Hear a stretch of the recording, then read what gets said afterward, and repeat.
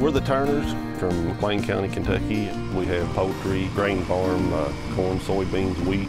Most folks don't realize that poultry is the number one cash crop in Kentucky now, bringing in over $900 million last year. It does make you have a sense of pride when we see our poultry in the store with our name on it. It's a product we enjoy ourselves. Always been taught we're not here just to get it done, we're here to do it right. I'm proud to work with my family every day. We're a Kentucky farm family, feeding Kentucky, feeding the world.